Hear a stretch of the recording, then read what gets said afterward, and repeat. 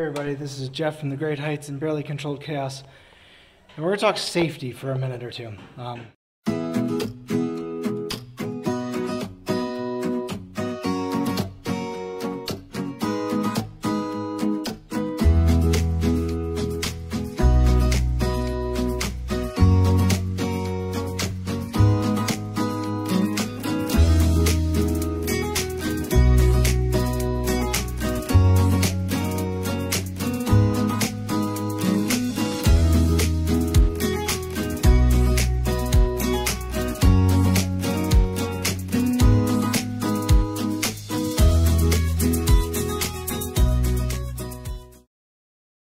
Didn't have an accident, so don't worry about that part.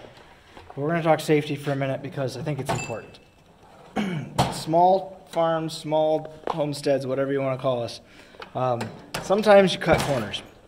And cutting corners is okay as long as you are careful about it. And I do mean be careful about it.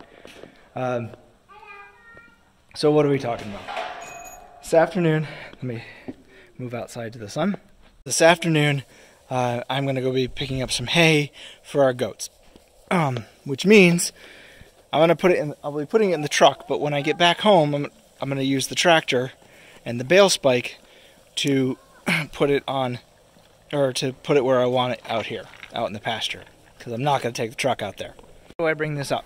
Because normally I use our mower deck as rear end ballast for the tractor. Um, it weighs a lot. Um, probably not as much as I should have, but it weighs a lot. The bale spike, on the other hand, weighs almost nothing. And I can tell the difference. I just drove it from up there, up near the, um, about halfway up the hill, to down here, and I can tell the difference in how the tractor behaves. So, and then I'm going to put about a thousand pounds of hay on this bale spike and I'm going to start having front end ballast problems. So I'm going to load the, the loader up with rocks. Again, not as much as I probably should have, but more than I more than nothing up here. So between the loader and some rocks, hopefully we can balance this out. So it's important to think about things like that. The other thing to think about is um, proper tire inflation. And because you're going to be putting a lot of weight on the tires, you want to make sure that they're inflated properly, that they've got enough pressure to handle that weight. Um, and that is very important as well, because otherwise it's really smushy and prevents roll.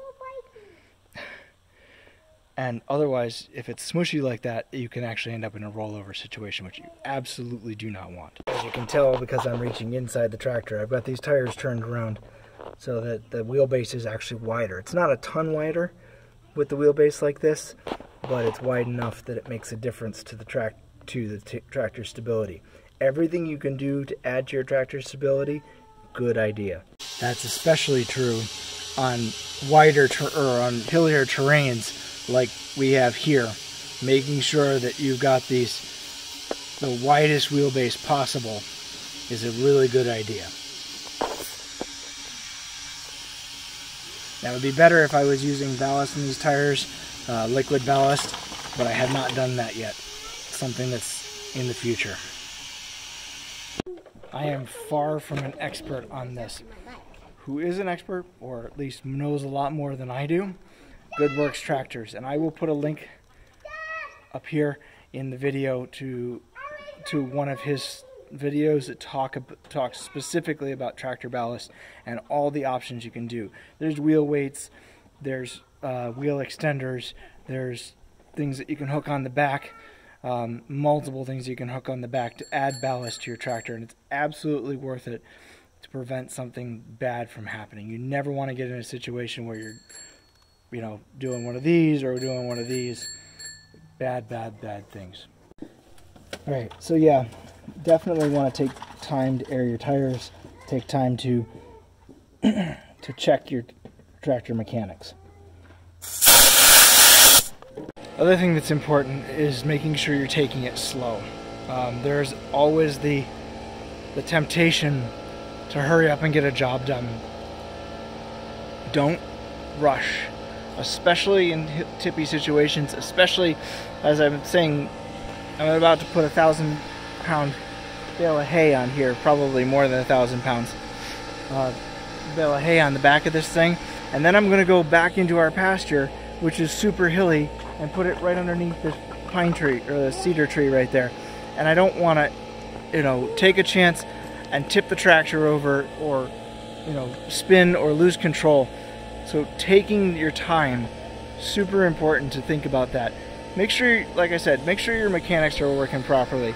If I get on the tractor and I put the, and I back up into the hay bale and I go to lift this, lift it with the spikes, uh, lift the the uh, lift the three-point hitch, and it's not lifting right, I'm gonna stop right there um, because I don't want to screw something up, and then certainly not worth doing that. It's I'd rather have the hay sit out here for a day or so while I go get figure out what's wrong with the hydraulics if I need to do that, than accidentally roll the tractor over here. So yeah, as I was saying, safety. So my daughter and I, Katie and I, went to go get it. So obviously, go in pairs, two people at least, you know. Do things. The neighbors around here are pretty friendly, but you never know when you're going to pull up on somebody's farm. The other thing is, um, make sure that you, when you're doing stuff like this, I'm about to pick this giant roll of hay up with that tractor after we roll it out of the back of the truck. You know you want to make sure that you have a spotter you make sure that somebody can, is there to watch and make sure that if the tractor starts to roll or something that they're there to keep you, give you an eye or let you know that it's about to roll. All right so it's the next day.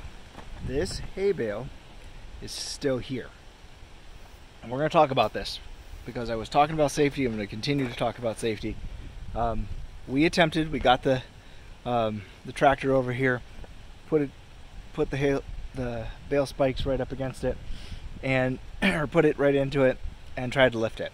Okay, so I knew there was it was a little little low on hydraulic fluid. We tried to lift it yesterday. No go, right? So went out, got more hydraulic fluid for it, ran it through the cycle a bunch of times to make sure everything was good, um, and put it back on the the hay thing or put it back on the bale and tried to lift it. No go. It lifted a little bit further, but I think it weighs more than I was expecting. Um, we were told about 1,100 pounds. The tractor's rated for 13 to, you know, 1,300 pounds or so. So we were we were in that margin, but I'm suspecting this is more like 15. Whatever, doesn't make any difference. Problem is, our tractor can't lift it safety wise, we could have, you know, maybe dragged it a little bit or, you know, tried to roll it with the tractor. Um, and we've looked at some other options. Best option, my neighbor has a bigger tractor. He's not home at the moment, but when he does get home, I will go over and bug him and ask him if he can move this bale for us. Because, like I said, he's got a bigger tractor, he can handle it. My little tractor is just not going to do it. I could possibly break my tractor trying to move it. I could probably break one of us trying to move it, and that's just not worth it. The bale can sit here for a day or two if we need it to, um, and we'll figure something out. I would much rather go that route than have somebody get hurt or break some equipment because I was trying to rush th through things and get it done. This is a great, we got a great deal on this hay. Um, considering what hay is going for this year and I'm willing to let it sit here for a day or two because it's worth doing that versus somebody getting hurt. So keep that in mind when you're doing things. As I was talking yesterday about, you know, being safe and, you know, thinking things through and not trying to rush things. Again, think those things through. Try not to get hurt. It's so easy to do that kind of stuff um, to get hurt, to uh, to you know just oh I can manage this, I can do this, and while we're out here on our own, there are people around, there are other humans around that can help you out, neighbors, friends. Somebody's got to have a tractor bigger than yours if that's the case. Somebody's got a got a pick, pickup truck you can borrow, something, whatever it is you need. I guarantee there's people out there that might help you to do this. And it is far better to take the time to find those people, to cultivate those relationships with people, and not get hurt. Our next door neighbor, he's a great guy. He really is. Comes over here, checks on us once in a while. He knows we're a bunch of city slickers trying to make this work. And, you know, I'm sure he laughs, goes home and laughs at us, and that's okay. I'm okay with that. He goes home and laughs at us. Good for him. Because um, I got it done. And that's what, that's what it takes. So, anyway, that's all I had to say.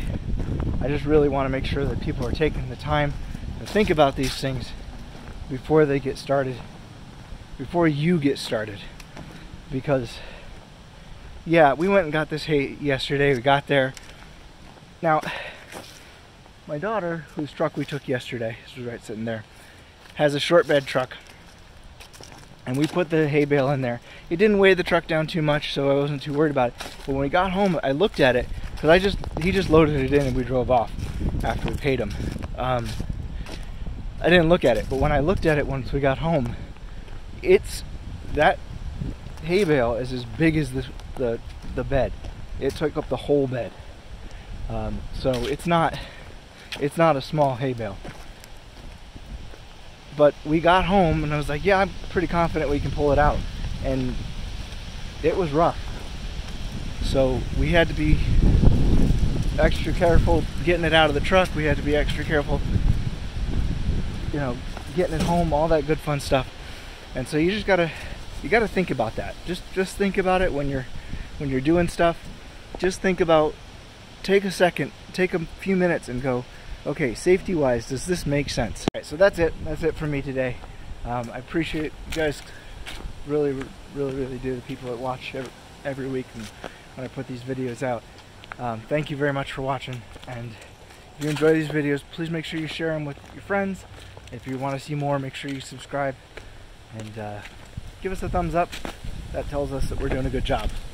Don't like what we're doing? Just thumbs down. I'm perfectly okay with that too. And we'll talk to you next time.